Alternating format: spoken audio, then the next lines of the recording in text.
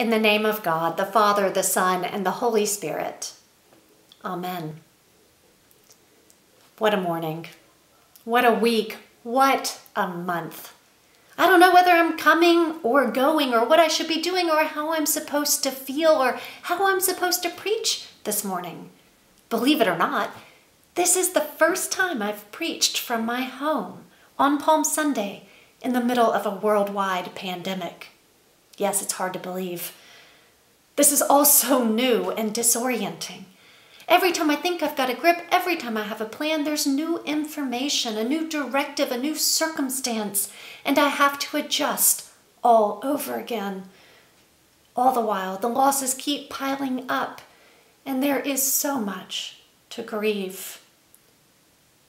Like many of you, I'm sad, confused, worried, and drained. Like many of you, I feel disconnected from so many of the people and places and routines of my life. And I'm sobered by the serious needs of those among us who are the most vulnerable or who don't have safe homes to shelter in place from. Like many of you, I want the same mind that was in Christ Jesus to be in me, I don't really know what that looks like right now. Instead, I'm afraid I'm quite a mess, riding a roller coaster of emotions and moods, much to my family's chagrin. And yet, like many of you, I'm discovering all kinds of graces too, like time with my husband and three usually very busy teenagers. I'm discovering grace in their boredom and the creativity it's generating and the way it's turning us toward one another. I'm discovering grace in my newfound appreciation for things that I used to take for granted, and in my newfound freedom from things and routines that I didn't think I could live without. I'm discovering grace, such grace in the care and concern I've seen among you for one another and for this community and for those who are suffering right now. There is grace in the generosity and compassion that is pouring out all around us, in the everyday heroism of medical professionals and staff, grocery workers, delivery people, service providers, caregivers, in the everyday sacrifices of people who are quarantining themselves voluntarily for the common good or of elders who are quarantining themselves so carefully out of concern for the peace of mind of their worried adult children. There is grace in the resilience of young people, too, and the resilience of our young people who are navigating so many disappointments right now. There's even grace in all these wonderful toilet paper memes and all this great social distance humor that you see these days. Like the one I saw recently of a man in a t shirt with big letters on it that said, Let's talk about Jesus, and a bubble over his head that explains, It helps with social distance. Yes, there's grace in being able to laugh at ourselves. But what's really strange is that I feel guilty about this too.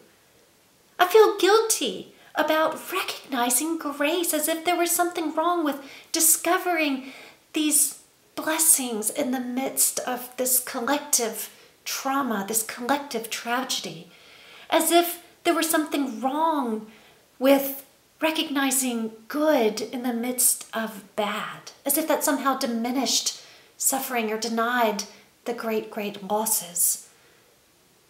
It's a confusing jumble of emotions and experiences, isn't it? Sorrow and gratitude and fear and peace and disappointment and hope, horror and beauty, guilt and grace. But all of this, all of this we bring with us to this Palm Sunday or Passion Sunday perhaps the most confusing, jarring, paradoxical day of the church year. We begin the morning in anticipation and joy as we proclaim our triumphant King Jesus. Blessed is the one who comes in the name of the Lord. Hosanna in the highest.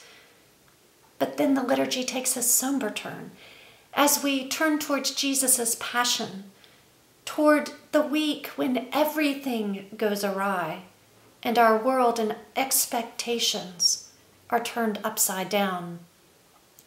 Suddenly, the crowds who proclaim this great king reject him. His friends betray and deny and abandon him.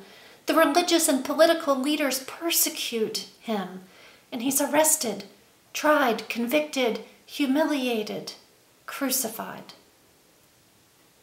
That's where the story ends, for today at least, but we know what's coming later in the week. On Thursday, we'll gather again to remember Jesus' Last Supper and his command to love one another. Then on Friday, we'll sit at the foot of the cross and bear witness to his crucifixion and to the darkness and desolation and disorientation that follows. And then, finally, on Easter morning, we'll celebrate his resurrection and all that it means for us. Sometimes we treat these as distinct moments, unfolding neatly and orderly in some kind of sequence, both in Christ's life and in our own.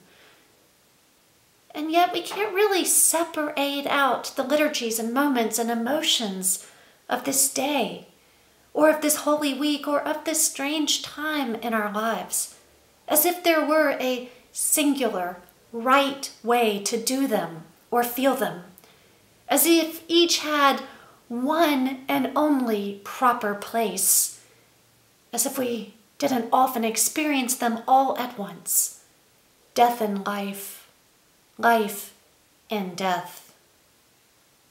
Yes, it's messy, but so is life.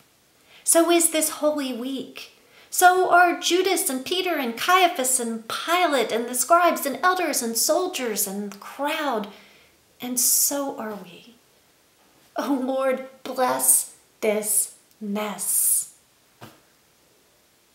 It's relatively easy to point to all the things we may be doing wrong today, just as it's relatively easy to point to all the things that people did wrong in the Passion narrative. There is plenty of guilt to go around for sure, and there certainly is a place for honest, hard judgment, for facing the ways we all participate in the crucifixion of Christ and of others. But this year, perhaps because of what we're living through or fumbling our way through, perhaps because we are doing the best we know how in this strange new world. I'm drawn this year to a different gesture the open arms of Jesus on the cross.